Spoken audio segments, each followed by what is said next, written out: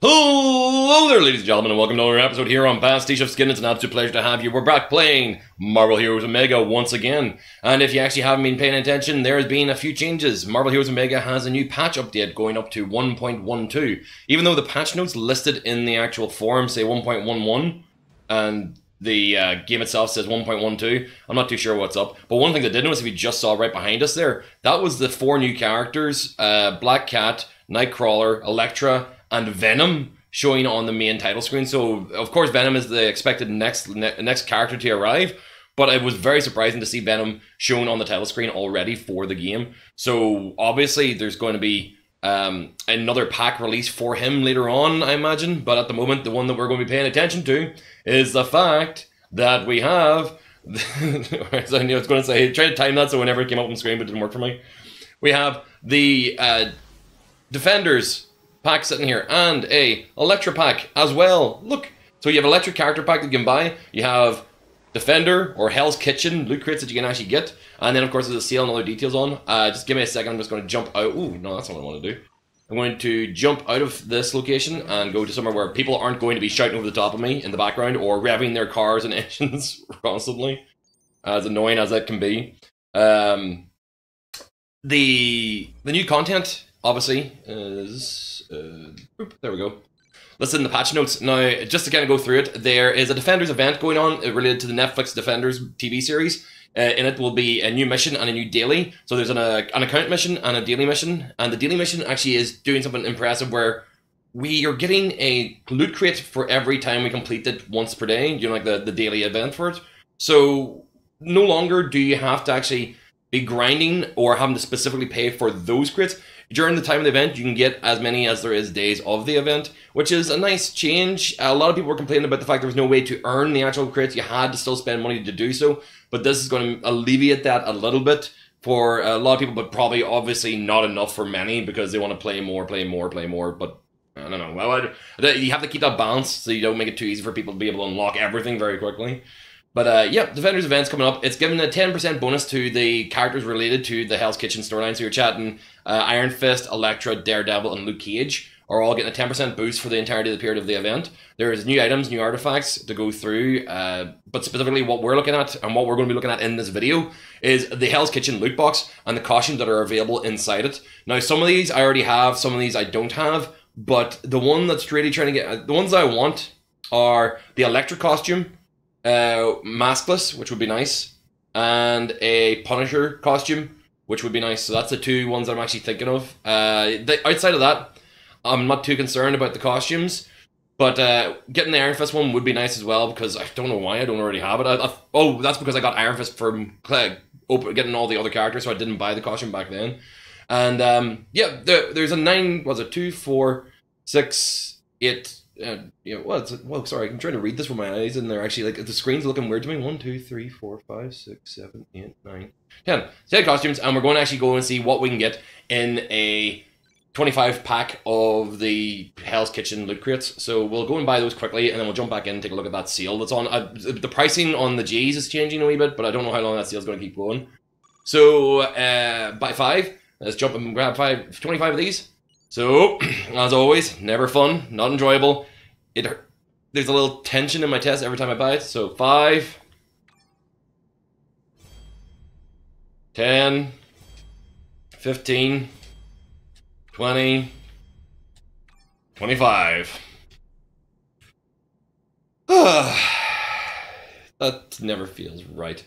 So um, obviously the Mighty Woman uh, of Marvel loot chests are sticking around for a little while longer. They haven't said when they're removing them, but uh, they have both of these concurrently run at the same time is interesting, especially with the fact that these loot crates are going to have specific order of the hand marks. They're kind of like the um, Stark Tech research things from the Spider-Man event that was on previously. So I'm curious what they're. Well, I don't know what way they're actually balancing that out for actual like content drops, or is it actually going to be spread across the other boxes as well by the time the event's on? So everything's getting a 25% discount off, uh, obviously on the G's for a new event. It's basically to encourage people to pick up um, more characters and more costumes. But of course, the Elektra pack itself is being shown at a price of 15 quid. So I'm going to be looking forward to trying out Elektra later on. I've got a feeling that she's going to play very much like a um, Black Cat or Black Widow kind of mixture character because of her stealthiness and assassin, but not having really long range attacks. She'll be a lot more dashy and slashy, so it'll be a lot more bleed attacks and that kind of thing. So I'm curious to find out what way she's going to play, but we'll be worried about that at a later date. So we just grab those. Oh, uh, hotspot every single goddamn time. I always have just a just too short of space in my pockets. Um, consumables, misc. What? Oh no, that's in storage. There's one in there. Yeah, I knew there was one of these. Ugh. And that was it. So it's actually the um the constant uh, five daily. I knew I had enough space, but it's actually the five daily um splinter marks that actually filled up my pockets.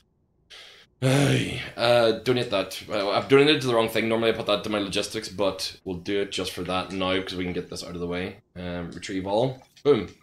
Okay, so let's start in to the actual stack of uh, boxes because we could be here for a little while. I'm curious to find out. Uh, so, yep, that's all 25 in there. Yep, sweet. Let's rock and roll. So, box number one of Hell's Kitchen loot boxes. What have you got for us? We got five legendary marks, four marvelous essence, a minor experience boost, a large character experience token for Squirrel Girl, and two shield supply boosts. That's a fair amount of boosts. Um, middling kind of like crate there. First crate, not gonna blow my mind, but not too bad. Um, I might actually, I might actually prestige Squirrel Girl. This is one of the things where I've got enough points for her, enough tokens for her now. 10 Marvelous Essence, 4 Marvelous Essence, are a total of 14, a shitty ass credit chest, a random ultimate gift, and a large character experience token for Nova, which is a card I don't play as, so that'll help. Um, yep, that's not a great chest, but for 14 Marvelous Essence, I mean, essentially the same as if you had gotten a um, non rare costume, so it's worth the same amount, 15, but that would have been a box of 15 to get on top. So, yeah, still not great. Not, not amazing drops so far. Two Eternity Splinters, four Marvelous Essence, Nanotech Filament, and Random Hero Ultimate Gift, and a large character experience token for Colossus. Yeah, the that's three crits so far that have actually been pretty mediocre. Um, large experience character tokens, always useful. Characters that I actually don't play that as often. Uh, it'll help me get them to 60 quicker. Four Marvel's Essence, a minor experience boost, a uh, ionic particle, random hero ultimate gift, and a large character experience token for Captain America, which uh, I've got plenty of. I got like three or four of those in the last batch of Mar- uh, Marvel Woman boxes, so uh, not great news. I got two of those actually. I wasn't into three. Ten Marvelous Essence, three hundred. Is that three hundred legendary marks? All right, that's actually a lot of legendary marks. Four Marvelous Essence, so uh, fourteen Marvelous Essence, three hundred legendary marks a craft chest or sorry, a credit chest for of absolute garbage, and a large character experience token for Magik. That's a lot. We're getting a lot more experience token drops in this box set, which is um, really surprising. They they weren't as fast as in regulars a drop, but still, we're what five boxes in and no costumes received yet. Four marvelous essence, a shitty ass credit chest again. That's no, but shit credit chest so far. Ionic Particle, large character experience token for Punisher, and a shield supply boost. These are not good drop rates so far. Uh, we've got we've got 20 chests to really redeem this in, but damn, this is still not great. Um, it's a really big difference from the, the last day or the last chance boxes I got for Marvelous Woman. So five legendary marks, four marvelous essence, a credit chest for five thousand, which is garbage. Matrix of Unbinding, and a chest of fifteen marvelous essence. So our first costume finally is a repeat costume. Uh, could be one of the Daredevil costumes I already have. It could be a Luke Cage costume I already have. It could be that's it. That's only two that actually would have a repeating costume, or it could be a Punisher costume I already have. So um, I might actually already have that Marvel's Daredevil Punisher costume? Does it come in the Marvel Knights box? I'm not too sure. But yeah, um, I really want to have the other one, the the bandaged up uh, something protocol one, which is pretty cool. But uh, yeah, five legendary marks, four Marvel Essence, credit chest, is just garbage, a fucking shitty Matrix of Unbinding, and a chest of 15 Marvelous Essence that um that it's just a costume that I already have. I just had a great idea in my head for a t-shirt just about a Matrix of Unbinding, but I'll I'll, I'll figure that out for some other time. So it, it distracted me from what I was reading. So we've got another 18 boxes to work through here. Four Marvelous Essence. A Heroes for Hire spray paint. Did we already have the Heroes for Hire one? I don't remember that being in previous flourishes. An enhanced genome, a random hero ultimate gift, and a matrix of unbinding. And I don't want any more of those. That's two. So we already got like six stack in the last one, so we've got another two on top of that. Well, I'm going to I'm going to see if there is a max stack for Matrix of Unbinding because I've got no use for them as it is. Hey! Costume that we didn't already have. Marvel's Iron Fist costume. Uh, appearing in the Iron Fist Netflix series, Danny Rand proudly displays the mark of Xiao Xu Lao, the Undying, on his chest. The immortal weapon hides behind no armor, letting his fist provide all the protection he needs. the immortal Iron Fist lives. Uh, two Eternity Splinters. Uh, is that five Eternity Splinters? Four Marvelous Essence, and a combination boost. I actually like getting combination boost. So a costume, a combination boost, and um, uh, not a brilliant stuff, but like it's better. Actually, happier getting that than getting mats or like high quality or uncommon mats. So better to get the uh, costume combination boost. That was actually a good box. So we've gone got two costumes in ten boxes. Not a great drop rate, but um, at the same time, eh, it's what one in five chance. That's what that what you're got twenty percent chance of getting a costume so far.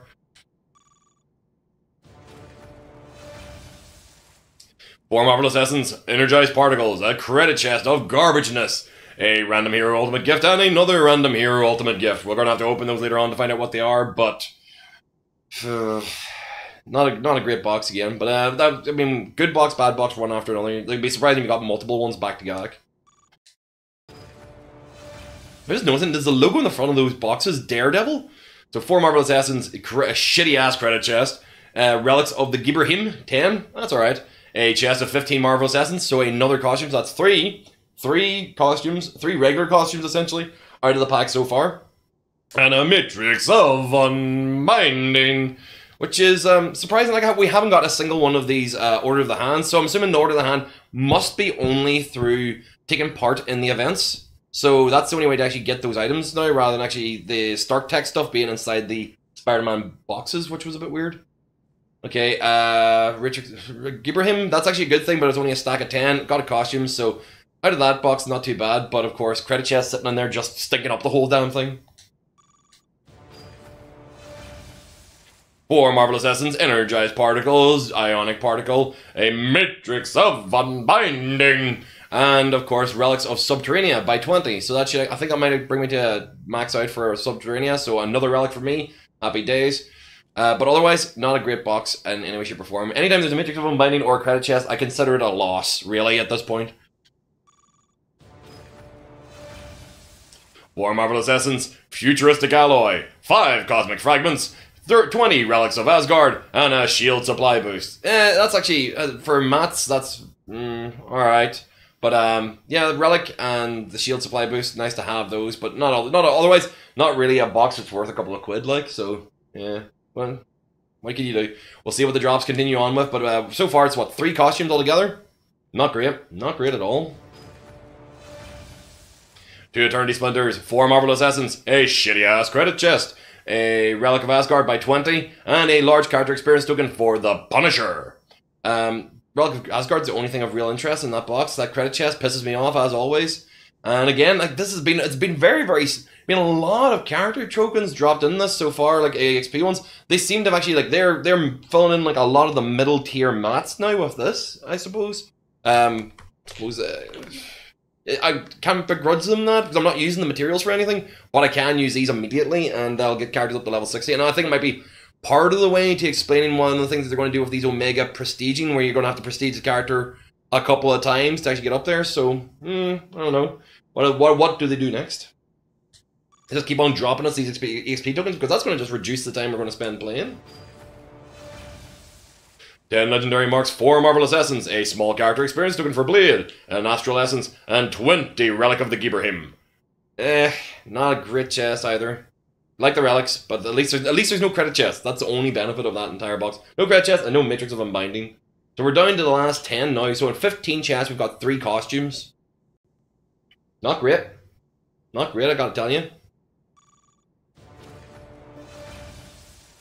For Marvelous Essence, a small character experience token for Jean Grey, a currency boost, A Matrix of Unbinding, Matrix of Unbinding. And I don't like getting more than one of those at any time. Fuck Matrixes of Unbinding.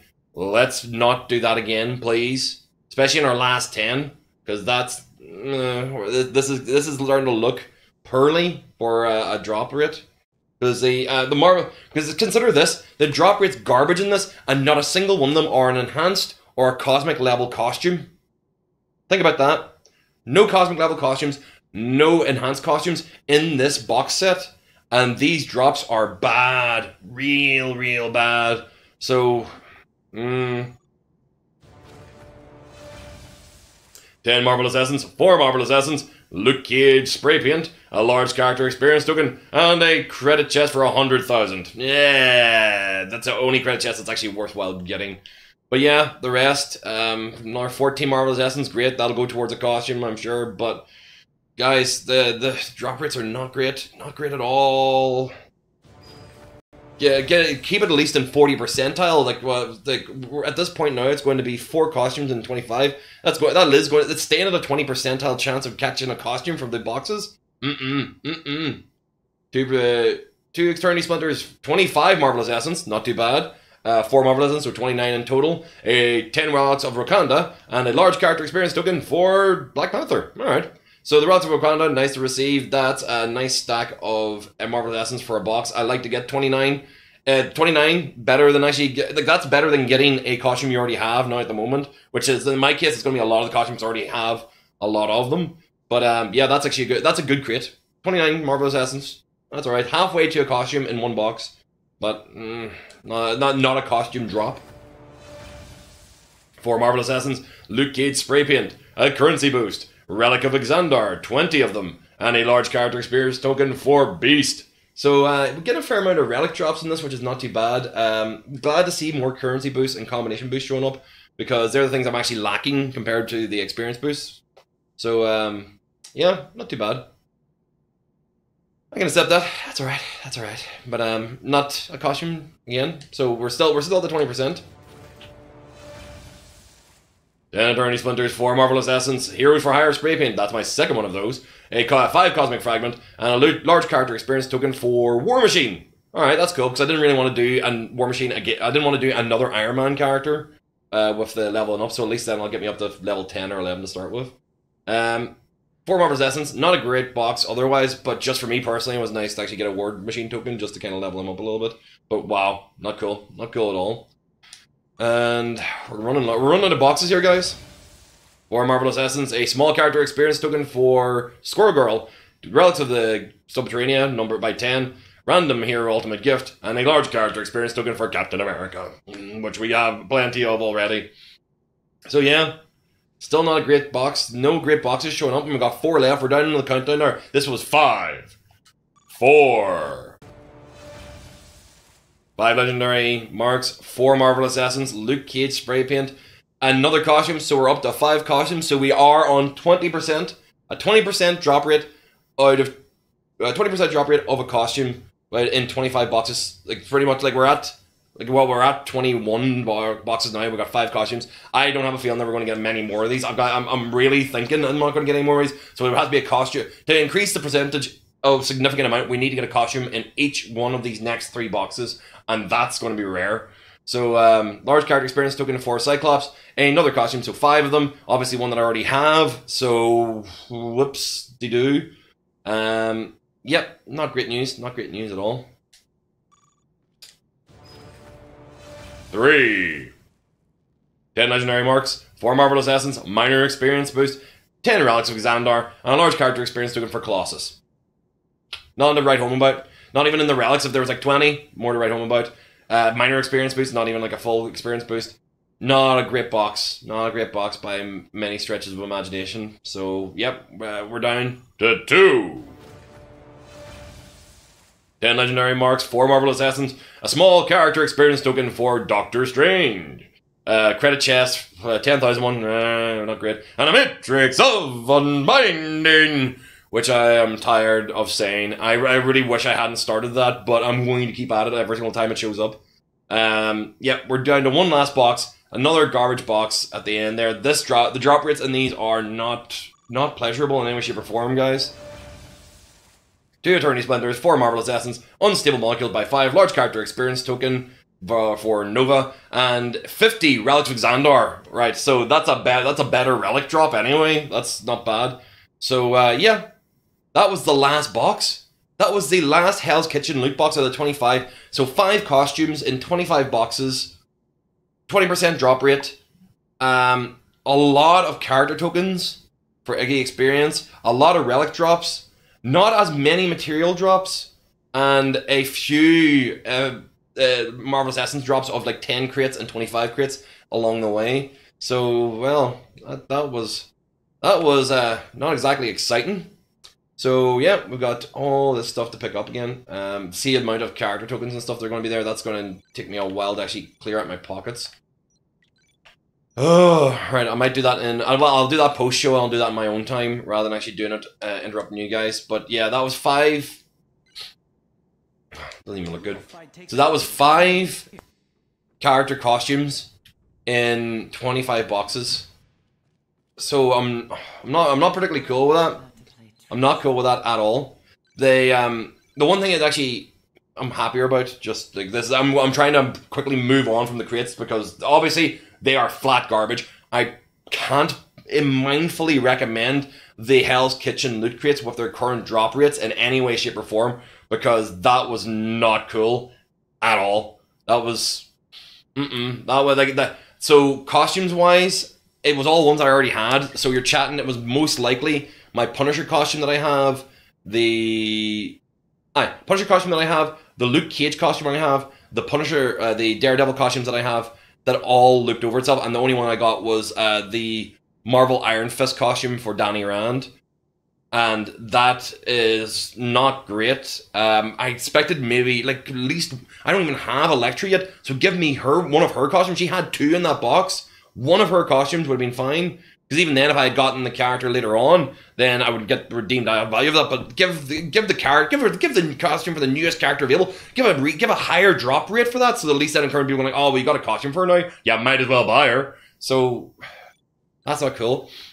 So what they've done with Moondragon is they've taken the costumes out of this, which was a major problem I found whenever I was sorting through it previously. All the other stuff that you can buy with Marvelous Essence, which is the boost, all cool to still have here and the power upgrades. But what they have done is they've moved the costumes into the store, which is makes sense because the costumes were already in the store before they switched over to that new method and placed them in here, so you can actually see what costumes are available at any one time for a particular player. So yeah, the Daredevil. There's three Daredevil costumes that I could have got, and I got none of the above.